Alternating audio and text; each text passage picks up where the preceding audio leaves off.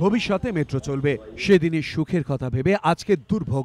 যাকে বলে today's pain is tomorrow's gain East West Metro কাজের জন্য প্রায় আট বছর ধরে বন্ধ, ফুলবাগান মোড়। রাস্তা আছে কিন্তু তা বন্ধ থাকায় রাজাবাজারের দিক থেকে বাইপাসের দিকে যাওয়ার উপায় নেই।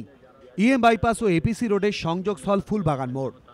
সেক্টর ফাইভ থেকে শুরু হওয়ার পর এখানেই ইস্ট ওয়েস্ট মেট্রো মাটির তলায় ঢুকছে। তার কাজ চলছে দীর্ঘদিন ধরে।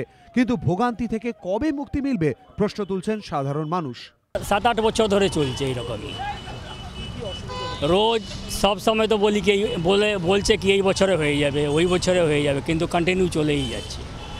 যে কোনো সময় অ্যাক্সিডেন্ট হতে পারে এইখানে। ফুলবাগান মোড় বন্ধ থাকায় গন্তব্যে পৌঁছতে ঘাম ছুটে যাচ্ছে সাধারণ মানুষের। সুবিধা তো হচ্ছেই কারণ আগে এখান দিয়ে অনেক বাস যেত।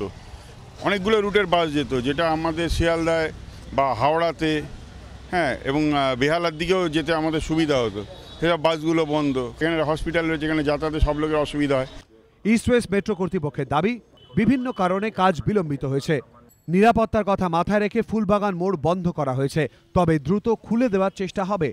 অপেক্ষা করতে করতে অনেক বছর পেরিয়েছে নিত্যদিনের এইভাবেই সমস্যার মধ্যে দিয়ে যাতায়াত করতে হচ্ছে ফুলবাগান চত্বরের সকল বাসিন্দাকে। ক্যামেরায় সুবীর রায়ের সঙ্গে অর্চিক ভট্টাচার্য এবিপি আনন্দ কলকাতা।